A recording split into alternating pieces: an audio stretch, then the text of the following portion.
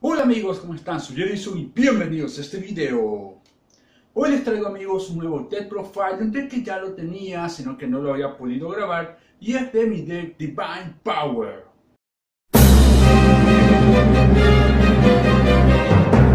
Si es este, ya saben, para los nuevos no hago decks competitivos, no juego torneos, entonces estos decks fan que yo me armo, originales, así todo chévere, son los que a mí me divierten jugar, con los que me siento muy bien y veamos qué tal quedó este TED Profile. Y hola amigos, bueno, estamos aquí para traerles el penúltimo TED Profile eh, del Divine que ya lo vieron y como uno dice, su hombre se concentra en convocar a los tres dioses egipcios, ¿ok? Ayudados un poco, claro, con la esfera de, de Ra para poder jugar a este monstruo. Eso es en lo que se basa el deck usar a los tres dioses y al estilo Aten Faraón. Pero bueno, ¿cómo compuse este deck? Obviamente, los dioses egipcios necesitan tres sacrificios y por esa razón necesito monstruos que no pueden ser destruidos en batalla, como estos tres. El aroma yar hasta me ayuda a recuperar vida. Siempre es bueno mantener monstruos en campo, por eso tenemos la pareja de las manos. Una destruye a la otra y me permiten llamarla a la otra, ¿no? Siempre tener un monstruo. El fantasma del caos es un plus, ya que podemos remover a la esfera Removiendo la esfera podemos convocar al dragón al lado de Ra ya que gana su efecto. Matemático, que también es una carta que siempre ayuda a, acelerar.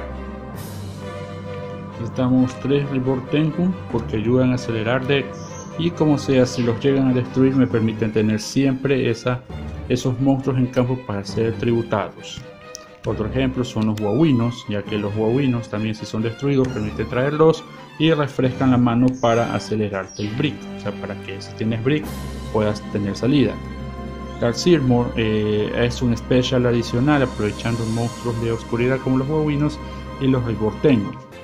Este deck tiene tres hand traps para frenar ataques como los Battle Fader y el Spiral Menku.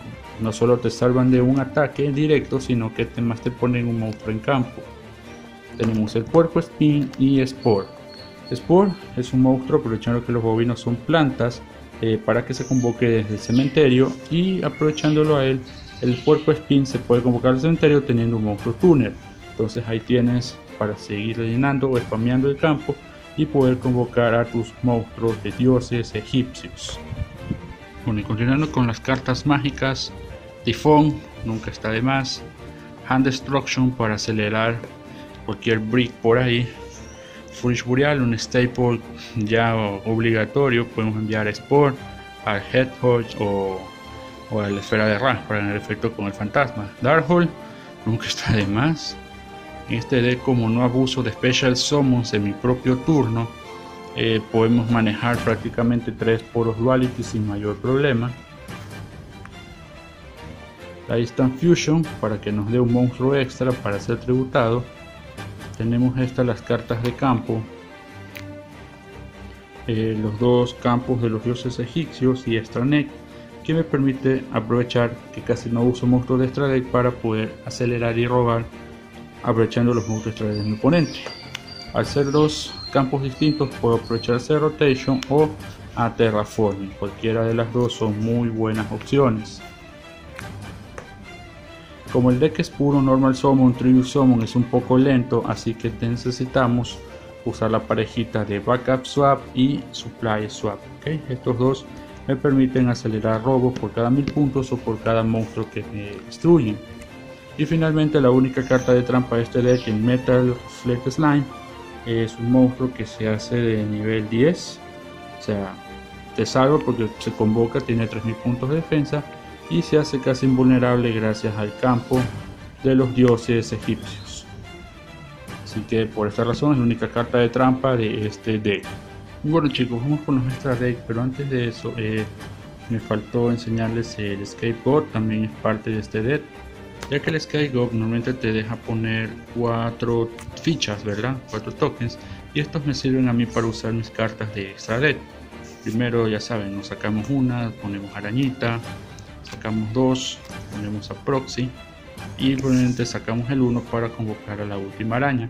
De esta forma son los tres únicos monstruos links que tengo y los puedo tributar a los tres para poner cualquier carta de dios egipcio. Siguiendo con los monstruos de extra deck tenemos a Tiseus y a y a Thousand Eyes. Cualquiera de los dos se llama fácilmente con Instant Fusion. Este para sacarse a cualquier monstruo de encima.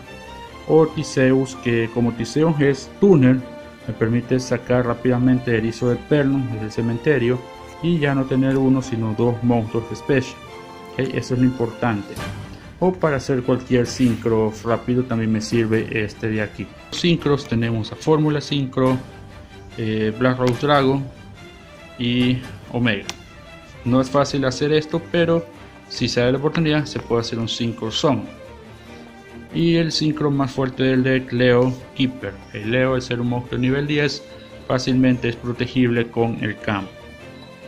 finalmente los monstruos X y Z, Abyss Worm, cuando se puede usar cuando se puede usar la princesa Silvan, Gagaga nunca está de más quemar 800 puntos y el Gagaga mayor el super cañón de rieles al poder ser con dos monstruos de nivel 10 con dos monstruos de nivel 10 que se puede hacer en un deck de dioses egipcios es fácil tener un monstruo de nivel 10 ya sea con Leo o con el meta Reflame Slane con esto se puede eh, acoplar ambos provocar cañón y quemar los 1000 puntos de vida. Y bueno chicos, este fue el deck profile de Divine Power, espero que les haya gustado y comenta todas tus impresiones de este deck.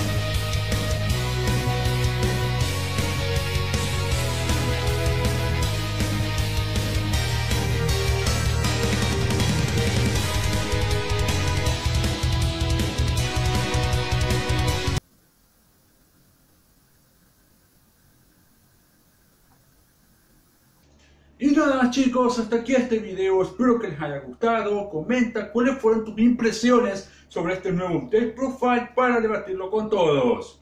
Chicos, recuerden, este es el penúltimo Deck Profile, ya en el 2019 les traeré el de mi deck definitivo que uso para torneos. Gracias a todos por este apoyo, no se pierdan el especial de fin de año que ya se viene. Y amigos. Será hasta la próxima. Bye.